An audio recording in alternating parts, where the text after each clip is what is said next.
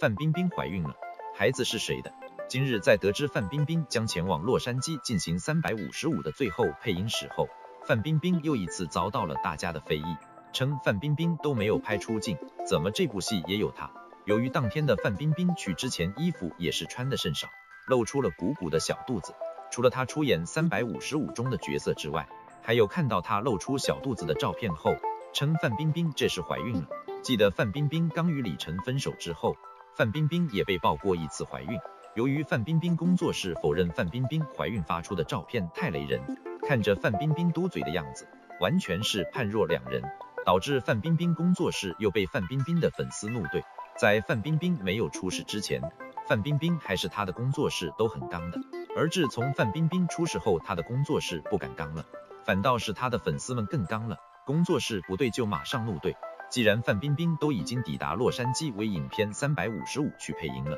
那怀孕这一事范冰冰工作室出来否认，其实也是多余。接下来还是期待范冰冰的三百五十五的到来吧。